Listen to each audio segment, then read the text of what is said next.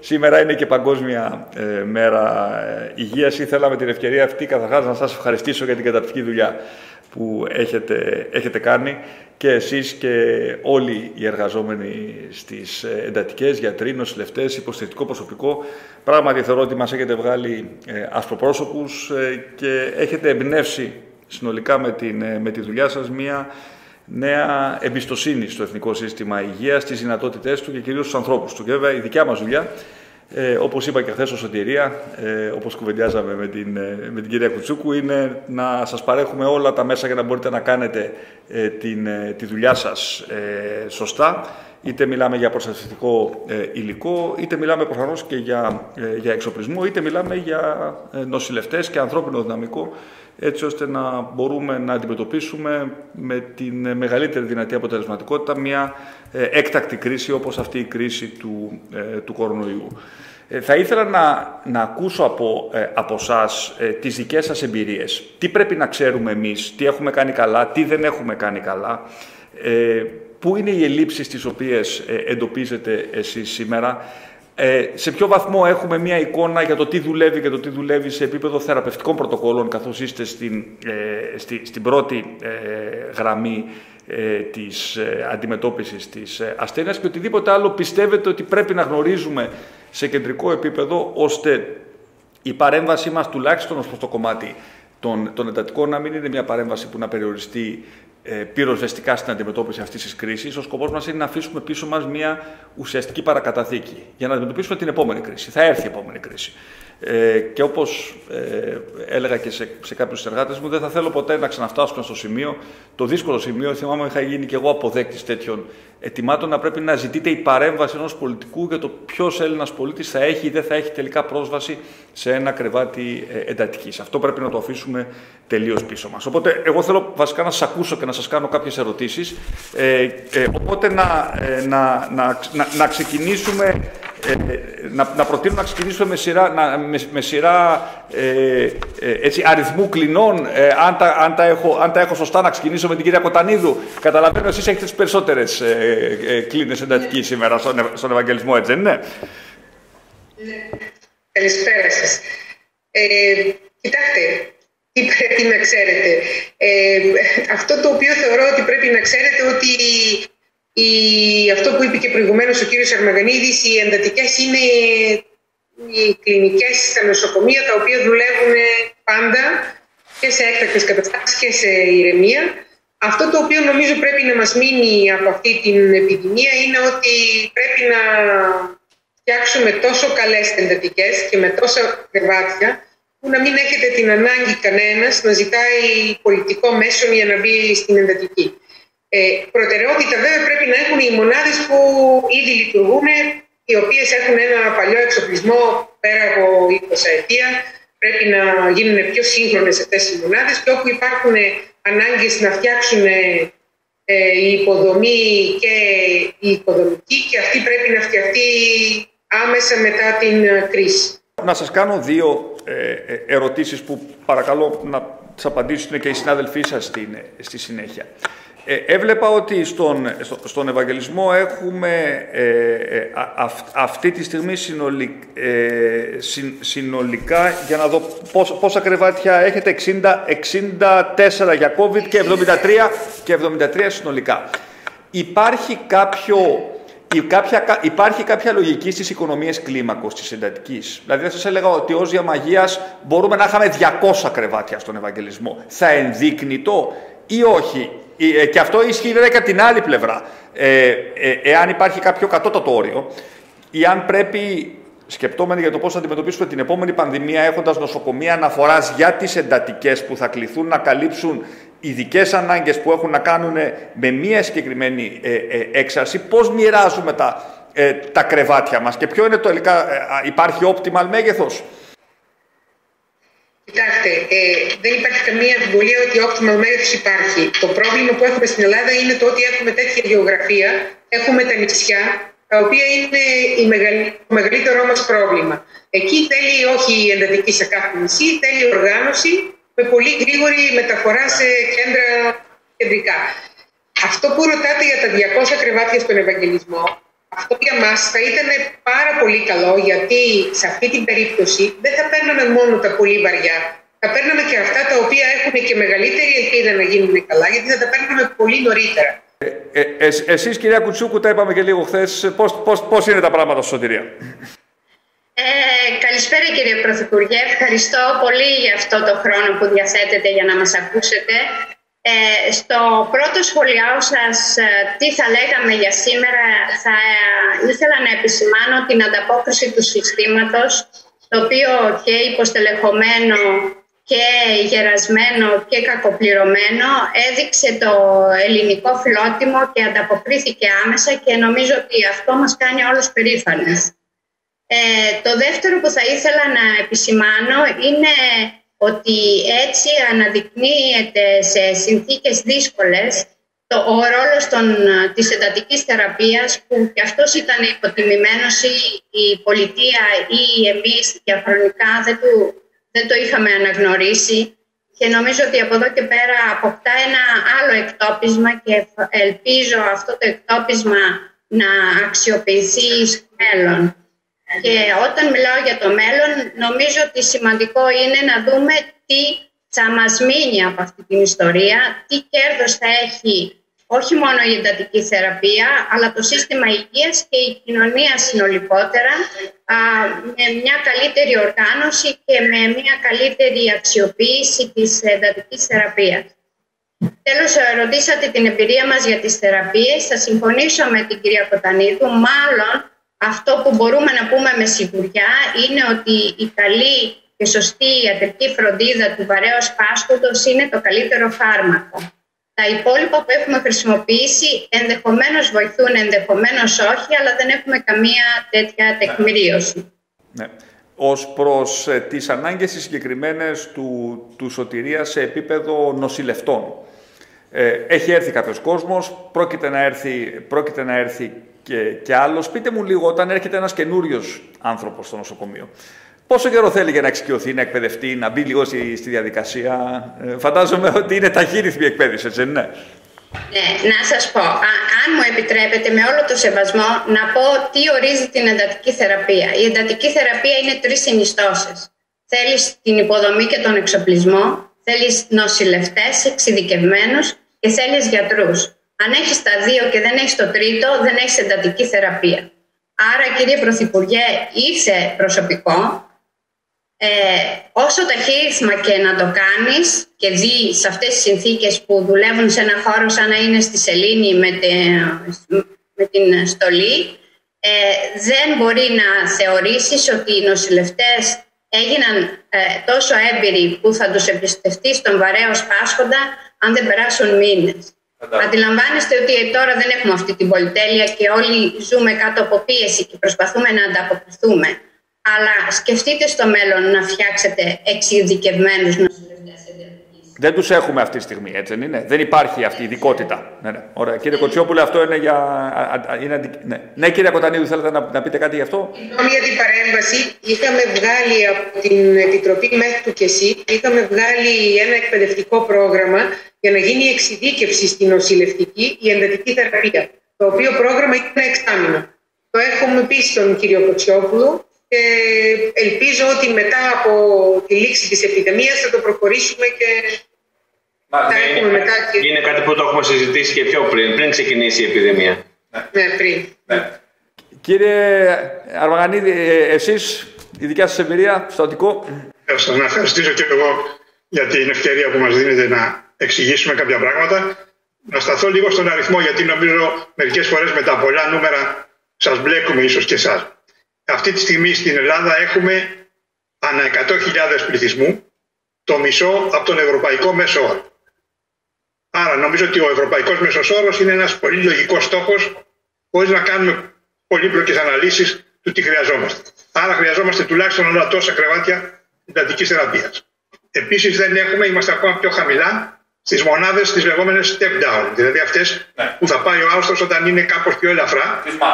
Τώρα δεν είναι εύκολο να πάει στον όροφο γιατί ο όροφος δεν έχει τέτοια υποδομή και πολλές φορές λιμνάζει και στη μονάδα και καθυστερεί και τα άλλα κρεβάτια. Θα πρέπει, όπως είπατε, επειδή τελικώ, όπως και απεδείχθη στην πράξη, ε, η ο πλαστική, όπως είπατε, του συστήματος είναι οι εντατικές θεραπείες, θα πρέπει κανείς το στράτευμά του αυτό να το έχει εγκαίρως προετοιμάσει και για την επόμενη, όπως πολύ σωστά είπατε, ε, είτε επιδημία ή γιατί όχι και του χρόνου ο κορονοϊός δεν, θα, δεν νομίζω θα φύγει. Θα είναι ίσως με καλύτερες συνθήκες εδώ, αλλά πάλι θα πρέπει να έχουμε, θα έχουμε το χρόνο να κάνουμε την προετοιμασία μας καλύτερα. Επομένως, αυτό νομίζω είναι που μετράει περισσότερο και εκεί θα πρέπει να δώσουμε την έμφαση. Τώρα για την παρούσα φάση νομίζω ότι γίνεται μια προσπάθεια όσο μπορούμε και με την βοήθεια όλων των συναδέλφων έχουμε ανταποκριθεί. Δεν είναι όμως τόσο εύκολο όσο μπορεί να φανεί ε, η αύξηση των κρεβατιών της ΜΕΘ. Θα σας πω το παράδειγμα το δικό μας. Εμείς είχαμε στην αρχή 8 κρεβάτια που ήταν κλειστά εδώ και αρκετό καιρό. Με τον κύριο Κοτσιόπουλο συνεργηθήκαμε, βρήκαμε αναπληστήρες από άλλο νοσοκομείο ε, από τη Βόρεια Ελλάδα και ανοίξαμε καταρχήν αυτά τα κρεβάτια. Για να ανοίξουμε πλέον άλλα έπρεπε να κλείσουμε τη μονάδα παιδών και την... Ναι, τα έχω, ναι, τα έχω δει. Ναι. Και αυτό είναι bypass. Δεν, δεν μπορεί να είναι μόνιμη, δεν μπορεί να είναι μια... Για ένα μεγάλο νοσοκομείο τριτοβάθμιο δεν είναι μόνιμη λύση αυτή. Σήμερα έχουμε 24 κρεβάτια, αλλά μετά, αν λήξει αυτή η ιστορία, θα ξαναγυρίσουμε. Βέβαια, είχαμε 8-10 κλειστά εδώ και 15 χρόνια. Γιατί δεν είχαμε το προσωπικό να τα στελεχώσει. Ναι. Κύριε Γέγα. Γεια σας. Καλησπέρα από τη Θεσσαλονίκη. Ε, από το νοσοκομείο ΑΧΕΠΑ, το οποίο έκανε τη μεγάλη προσπάθεια τον τελευταίο μήνα, ώστε να λειτουργήσει από τα 10 κρεβάτια που είχε πριν από την κρίση που περνάμε, να φτάσουμε στα 25 και από αύριο στα 27. Μέχρι στιγμής έχουμε νοσηλεύσει γύρω στους 25 ασθενείς. Σήμερα είχαμε και την ευχάριστη είδηση ότι οι δύο ασθενείς μας βγαίνουν υγιείς από τη μονάδα μας. Αυτό είναι το αισιόδοξο να κρατήσουμε. Έχουμε τις δυσκολίες που ανέφεραν και όλοι οι συνάδελφοι. Ε, σίγουρα υπήρχε ανταπόκριση και όλοι είσαστε δίπλα μας και ως προς το νοσηλευτικό προσωπικό που έγινε πρόσληψη και ως προς το ιατρικό προσωπικό το οποίο έγινε μετακίνηση κυρίως στο δικό μας νοσοκομείο από άλλες μονάδες ή από άλλα τμήματα. Δυστυχώς δεν υπάρχουν στη λίστα των επικουρικών γιατρών που βέβαια προκηρύχθηκαν, αλλά δεν υπάρχουν διαθέσιμοι γιατροί με την ειδικότητα, την εξειδίκευση της εντατικολογίας. Ποια είναι, ποια είναι η, η βιβλιογραφία, συγγνώμη που σας διακόπτω, η βιβλιογραφία θα έλεγε ότι ποιο είναι, ποια είναι η αναλογία νοσηλευτών ανακρεβάτη; Στα 27 ένα προς τρία τουλάχιστον. Ναι. Και σίγουρα όλο το προσωπικό δίνει τον καλύτερό του εαυτό αυτή τη στιγμή. Το μόνο πρόβλημα που αντιμετωπίζουμε είναι ότι και από την πλευρά του ιατρικού προσωπικού και του νοσηλευτικού τα θέματα ασφαλείας της νοσηλείας των ασθενών και αυτό πολύ καλά καταλαβαίνετε ότι είναι για τα μέτρα ατομικής προστασίας αναφέρομαι και το κυριότερο πρόβλημα που όλοι νομίζω πανελλήνια υπάρχει είναι ότι η έλλειψη των, ε, από τις μάσκες υψηλής προστασίας της FFP3 ε, δύο υπάρχει κανός αριθμός και με την τελευταία αποστολή που έγινε. Η τρία ε, δεν θα χρειάζονται καθημερινά. Ε, αυτά είναι γενικά τα προβλήματά μας. Ε, όπως ανέφεραν και οι προηγούμενοι πραγματικά αναγνωρίζεται η δουλειά της εντατικής. Τα τελευταία χρόνια, τα προηγούμενα χρόνια δεν ήταν αναγνωρίσιμη τόσο δημόσια η δουλειά που προσφέρουμε σαν, σαν εντατική θεραπεία. Ε, πιστεύω ότι θα είστε δίπλα μας, ότι θα μας βοηθήσετε και παραπάνω και αφού περάσει και η κρίση και ευχόμαστε όλοι να περάσει και να βγούμε όλοι να ξαναανταμώσουμε έτσι όλοι και να, έχουμε, να πούμε ευχάριστα αποτελέσματα.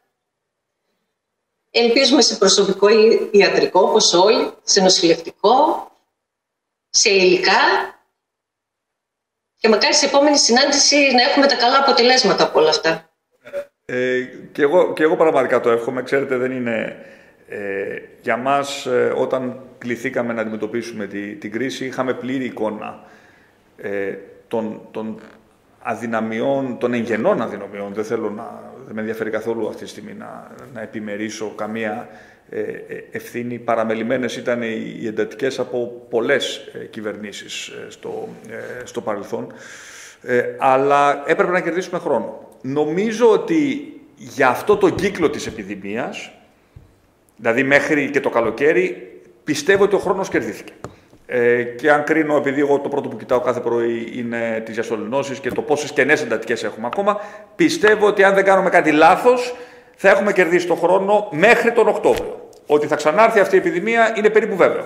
Θα μας βρει πιο έτοιμου και σε θεραπευτικά πρωτόκολλα, φαντάζομαι, λογικά όχι σε εμβόλια ακόμα, αλλά κάτι παραπάνω θα ξέρουμε για το τι δουλεύει σε θεραπευτικό πρωτόκολλο.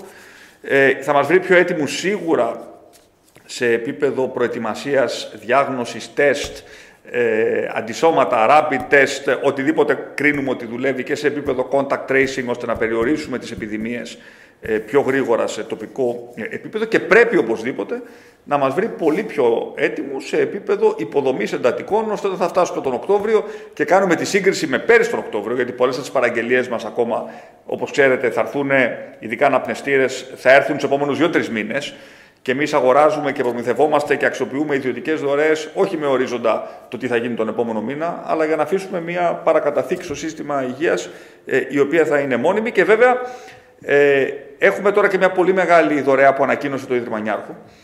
Ε, 100 εκατομμύρια συνολικά, που θα κάνουμε κάποιες πρώτες συζητήσεις μαζί τους. Γιάννη, μίλησα και σήμερα ε, με τον Αντρέα τον Δρακόπουλο και ξέρω ότι έχεις μια επικοινωνία αύριο και θα αναζητήσουμε και τη δικιά σας γνώμη για το πώς είναι ο καλύτερος τρόπος να αξιοποιήσουμε ένα μεγάλο ποσό. Ε, πέραν των προφανών που νομίζω ότι πρέπει να, ε, πρέπει να κάνουμε. Άρα για μένα υπάρχει ένα benchmark τι κάνουμε, τι κάνουμε άμεσα που νομίζω ότι έχουμε κάθε λόγο να είμαστε ικανοποιημένοι. Τι κάνουμε με ορίζοντα τον Οκτώβριο που πρέπει να είμαστε σε άλλη σε άλλο επίπεδο προετοιμασίας και τι κάνουμε μακροπρόθεσμα, ειδικά με παρεμβάσεις όπως η εκπαίδευση, ε, όπως τα ζητήματα που έχουν να κάνουν με τη διαχείριση του ανθρώπινου δυναμικού που δεν λύνονται μέσα σε ε, ένα-δύο μήνες γιατί ξέρουμε ότι και οι παρεμβάσεις που έχουμε κάνει τώρα είναι παρεμβάσεις που έχουμε κάνει με πυροσβεστικό χαρακτήρα. Εσείς κύριε Μπιτζάνη πώς τα βλέπετε στο Νικολάου. Ε, καλησπέρα σας. Ευχαριστώ πάρα πολύ για αυτή τη συνάντηση και σας μεταφέρω και τους χαιρετισμούς των συναδέλφων μου. Εγώ θα ξεκινήσω από αυτό που είπατε ότι α, αυτή τη στιγμή πραγματικά σε πολλές μονάδες λειτουργούμε πυροσβεστικά. Α πούμε, η δική μου μονάδα, που είναι μια πολύ σύγχρονη μονάδα, να φανταστείτε, δεν προλάβαμε να κάνουμε τα επίσημα εγγένεια, είναι δωρεάν. Λειτουργούσαμε με 12 κλίνες, ε, λόγω λήψη ανθρώπινου δυναμικού, εξοπλισμού κλπ. Ε, Όντως, αυτή τη στιγμή ανοίξαμε 18 κλίνες, προσπαθώντας ε, πυροσβεστικά, όπως λέτε, να λειτουργήσουμε. Δηλαδή, δανεικά που είχαν αποσυρθεί από άλλα νοσοκομεία, με νοσηλευτές που ε, μεταφέρθηκαν από άλλες κλινικές, με γιατρούς που αποσπάστηκαν από εδώ και από εκεί. Αυτό εμείς τη δουλειά μας θα την κάνουμε αυτή την εποχή με αυτά τα πράγματα. Δηλαδή, όλοι προσπαθούν και με πολύ μεγάλο, με φιλότιμο, δεν, δεν, δεν βαριγκομάει κανείς. Το θέμα είναι να, να εκμεταλλευτούμε πραγματικά αυτή την ευκαιρία, να μην την αφήσουμε να πάει χαμένη. Δηλαδή, αυτά τα κρεβάτια και όλα τα κρεβάτια που έχουν σε όλα τα νοσοκομεία σιγά σιγά να εξοπλιστούν, να επανδρωθούν και να μείνουν στο ελληνικό εσύ για να μπορέσουν να κάνουν όπως είπε και η κυρία Κοτανίδου να αρχίσουμε πλέον να δεχόμαστε αναθροώστους οι οποίοι δεν είναι απαραίτητα διασωληνημένοι αλλά είναι βαριά και θα πάνε πολύ καλύτερα να νοσηλευτούν σε μία μονάδα εντατικής θεραπείας. Ένα άλλο πράγμα το οποίο θα ήθελα να επισημάνω είναι ότι σαφώς πρέπει να δοθεί μέρημνα στο νοσηλευτικό προσωπικό για την εκπαίδευσή του, για, για κίνητρα. Όμως ε, αυτή τη στιγμή έχουν γίνει αλλαγές ε, στο σύστημα εξειδίκευσης στην εντατική ιατρική και αυτό είναι ένα μεγάλο πρόβλημα. Δηλαδή, κινδυνεύουμε αυτή τη στιγμή να ανοίξουμε μονάδες εντατικής θεραπείας που τις χρειάζεται το ελληνικό κράτος, αλλά δεν θα υπάρχουν γιατροί να δουλέψουν σε αυτό. Ε, θα σας παρακαλούσα πάρα πολύ και μάλιστα τον κύριο Κοτσιόπουλο και να μεταφερθεί και στο Υπουργείο Υγείας όταν τέλος πάντων αυτή η ιστορία κάπως κοπάσει να γίνει μια επικοινωνία με την Ελληνική Εταιρεία Εντατικής Θεραπείας να συζητήσουμε για την εξειδίκευση στην εντατική ιατρική, να δοθούν κίνητρα. Έχουμε πολλούς, φαντάζομαι ξέρετε, έχουμε πολλούς Έλληνες εντατικολόγους στο εξωτερικό. Νέα παιδιά που είναι στο εξωτερικό. Έχουμε αρκετούς. Ναι. Και εκεί ίσως είναι... Και εκεί ίσως πρέπει να σκεφτούμε ε, ναι, κοιτάξτε, το άλλο το οποίο το είχαμε συζητήσει και πριν ε, την επιδημία με τον κύριο Κοτσιόπουλο, ότι ε, παλιά, παλιά, όχι πολύ παλιά, πριν από ένα-δύο χρόνια, είχαμε δυνατότητα να επιλέγουμε τους γιατρούς που θα έρθουν στην εντατική θεραπεία. Με μια αλλαγή που έγινε από την προηγούμενη κυβέρνηση, πλέον όλοι μπαίνουν σε μια λίστα και όποιος θέλει να καλύψει τα δύο χρόνια επειδή είναι άνεργος, ασχέτως αν τον ενδιαφέρει ή όχι η εντατική, έρχεται και μένει στην εντατική για δύο χρόνια παίρνοντας ένα μισθό ε, για να μην είναι άνεργος. Αυτό ήταν ένα πολύ μεγάλο πλήγμα για τις εντατικές, το οποίο θεωρώ ότι μόλις λήξει η επιδημία πρέπει αμέσως να αλλάξει, ναι. πρέπει να έχουμε τη δυνατότητα να επιλέγουμε τους ανθρώπους που θα δουλέψουν στην εντατική. Προφανώς. Μου φαίνεται πολύ αυτονόητο αυτό που λέτε. Ήταν πάρα πολύ ενδιαφέροντα όλα αυτά. Θέλω να σα ευχαριστήσω πολύ για το, για το χρόνο σας, γιατί ξέρω ότι είναι, πολύ, είναι, είναι πολύτιμο σε αυτή, σε αυτή τη συγκυρία και επειδή νομίζω ότι αν έχουμε αποδείξει κάτι είναι ότι έχουμε μέθοδο και σύστημα, να είστε σίγουρες και σίγουροι ότι θα, θα επανέλθουμε και μετά την ε, αντιμετώπιση της, ε, της κρίσης που νομίζω ότι θέλω να ελπίζω ότι μέσα στον επόμενο μήνα θα έχουμε μια, μια σημαντική μείωση των ε, ε, των περιστατικών ε, για να μπορέσουμε να σχεδιάσουμε τις μέσο μακροπρόθεσμες παρεμβάσεις στην κατεύθυνση στην οποία, ε, στην οποία μιλήσαμε. Εάν, εάν κερδίσαμε κάτι από την κρίση είναι ότι επαναφέραμε στο δημόσιο διάλογο τη σημασία των ειδικών, των τεχνοκρατών, οι οποίοι τόσο λιδωρήθηκαν δυστυχώς τα χρόνια της έξαρσης του, του λαϊκισμού. Εμείς απλά λίγο κοινή λογική βάζουμε και πρέπει να, να, να φιλτράρουμε λίγο αυτά τα οποία μας λένε οι ειδικοί. Η δικιά μας δουλειά δεν είναι σε αυτό το επίπεδο τόσο περίπλοκη.